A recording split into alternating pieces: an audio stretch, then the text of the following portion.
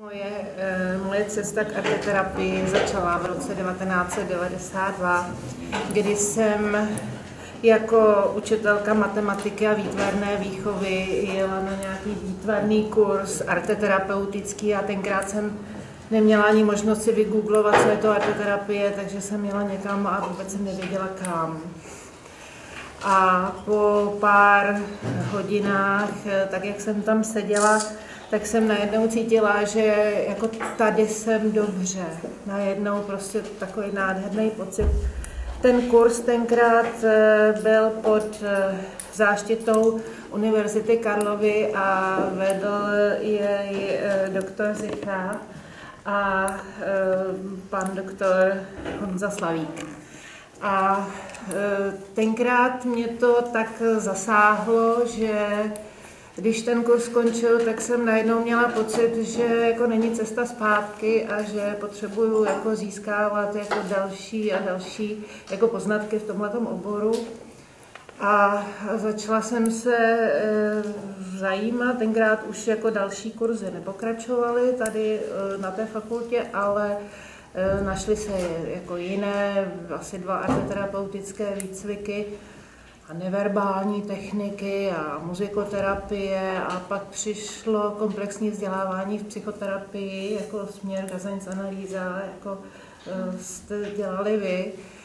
A, a tak se to začalo e, nabalovat a najednou jsem měla pocit, že už jako ve škole nemůžu zůstávat a že potřebuju e, pracovat jako jiným způsobem, tak jsem pracovala nějakou chvíli jako arteterapeut v pedagogicko-psychologické poradně.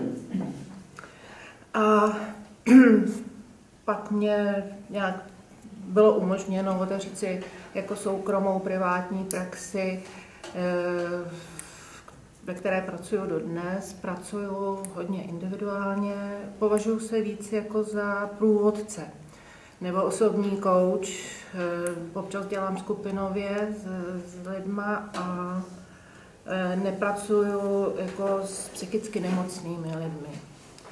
A e, protože taky jako ve mně je tak jako kus toho matematika, tak zkoumám ty věci, jako ty souvislosti a potřebovala jsem se nějak jako dopátrat toho, co to tenkrát na začátku bylo, že to byl tak silný impuls, že to tak změnilo tu moji e, profesní orientaci a kde se vzala ta energie pořád jako jít dál a dál. A, a ono to potom přišlo a to, o to bych se s vámi chtěla podělit. Je to, je to nějaká, řekla bych, integrace e, toho všeho, co jsem jako mohla poznat na těch, na, při tom svém Eh, sebezdělávání a hlavně bych taky vedle toho, že jsem teda mohla zažít, eh, eh, zažít ty arteterapii tady se Zdeňkem, tak kdy teda to bylo to malování s hudbou, možná, že někteří z vás jste to zažili, a to je právě ten dotyk, dotyk tady s tím svým to, to oslovení toho, co mám vevnitř. A pokud se tam člověk dostane do toho zdroje, tak, tak jako se začnou dít věci. My známe že ty funkce té arteterapie, abreaktivní a, a, a další a další. A já o čem bych chtěla mluvit, tak to je právě tady to očarování zážitkem, jak to tady dneska padlo, to bylo taky krásné vyjádření.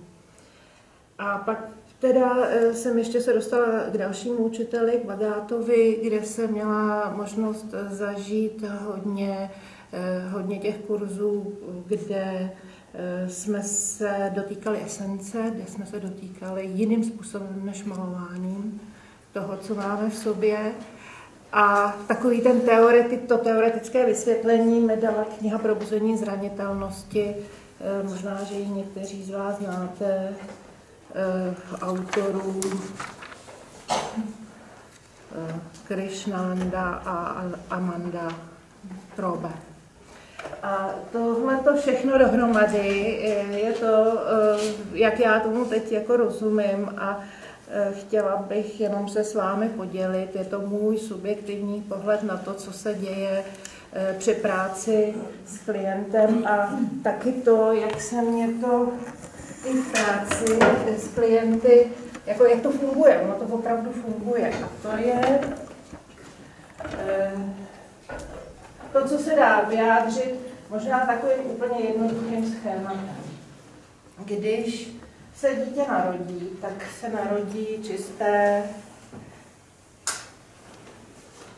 neposkorněné, schopné prožívat to tady a teď. To je zhruba do těch tří až čtyř let. To je to naše podstata, známe to, že dítě samou, samou se dokáže radovat, nikdo ho nemusí učit se radovat z toho, že, že vidí pampelišku a že vidí sluníčko a že se rozběhne po louce a, a prostě se směje a nikdo mu to nemusí říkat, jak se to dělá. Eh, dítě má i v sobě takovou tu vnitřní sílu, když má dostatečné, když dostatečně splyne s matkou do jednoho roku, tak pak najednou má takovou tu v sobě takovou tu zvídavost, jít dál, jít za ten roh, poznávat. To je ta vůle. Jo, čili dítě se narodí s esencí radosti, vůle, síly. Děti jsou nesmírně tvořiví a taky jsou schopní milovat. To je nějak daný. A pak přijde vlastně ten kontakt s dospělými a to, co jim rodiče jako odzrcadlí, že je to v pořádku, tak oni si tu esenci ponechají. Tu esenci můžeme vnímat třeba jako duhu, eh, která má ty barvičky a ty barvičky jsou třeba tyhle, ty určitě bychom tam našli ještě nějaké další. A představme si, že třeba dítě se z něčeho raduje a maminka mu řekne, pojď, musíme rychle do školky, na to není čas. A když se to stane opakovaně víckrát a víckrát, tak najednou dítě tu schopnost se radovat jakoby postupně ztrácí, ztrácí, až eh, třeba o ní více či méně přijde a tak to může být jako i se všemi těmi ostatními. A to je ta druhá vrstva toho našeho nitra, a to jsou ty zranění. Jestliže nemám odzrcadleno to, že to, co mám přirozeně v sobě, že je v pořádku, tak s tím ztratím kontakt. Ono to tam někde je, ale já s tím nejsem spojený. No a to bolí. A pak přijde ta třetí vrstva, a to je nevědomá vrstva ochrany. Takže ještě, ještě bych to teda možná tady mohla ještě jednou zopakovat. Tohle je ta naše podstata, jádro bytí, o čem vy tady krásně hovořili, kde je ta vitalita, spontánnost, hravost, svoboda, schopnost se prosadit. Tři, tři roky dítě se prostě a já chci a já tohle. Že to, to tam všechno je ta obrovská energie. A pak, přijdou, eh, pak přijde určité očekávání od rodičů nebo učitelů. Jak, eh, za co jsme přijímaní. Eh, třeba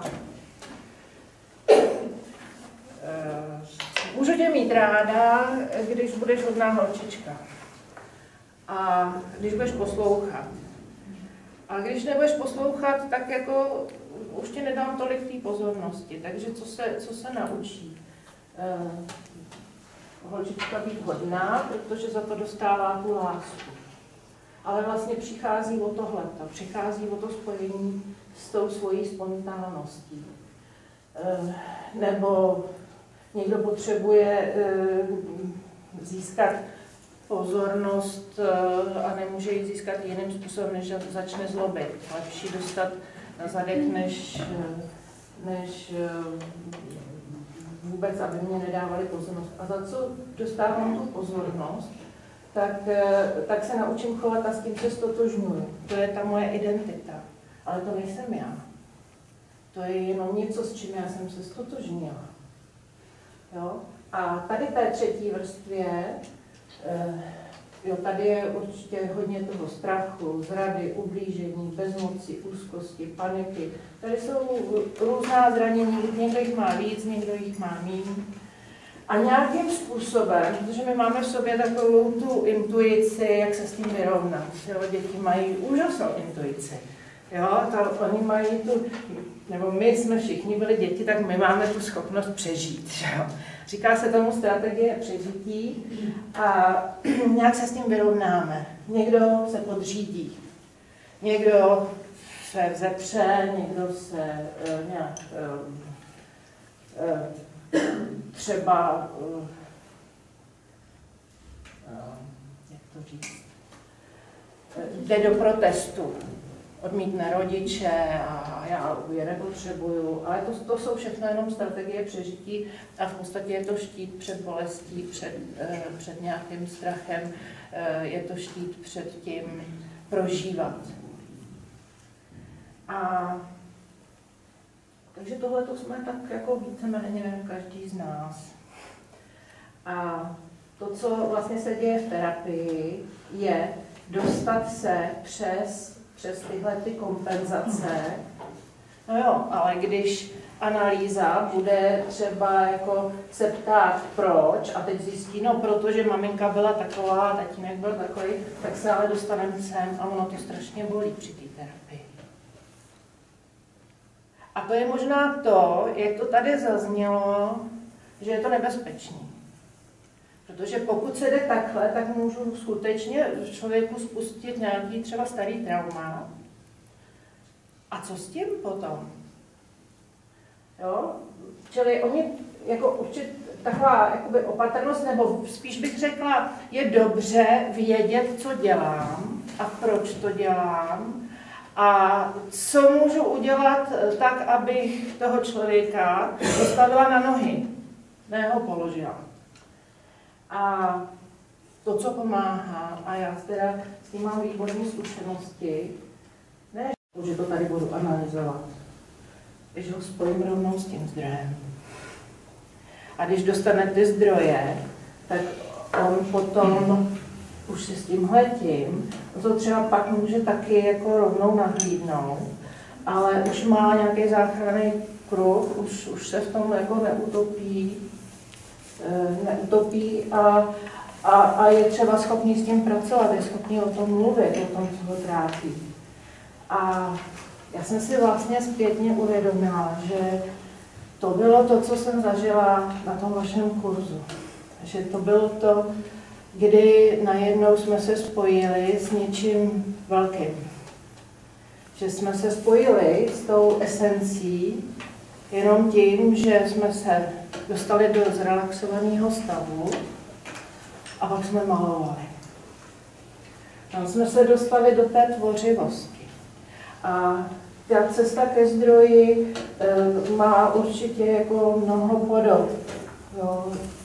Psychoterapie, neurolingvistické programování, já ho často používám, taky to funguje. Ale třeba lidi pracují e, s tělem, dělají jogu, meditace taky jako velmi silný, silný prostředek, jak se dostat sem. Ale i sportovci třeba při běhání zažívají takový, jako že nejdřív musí vynaložit tu sílu a pak najednou ty nohy běží sami. Že? Jo? A, a to je taky tohle. Tanec.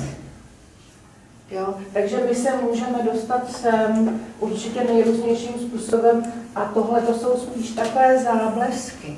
Tohle to je třeba pod vedením e, nějakého odborníka.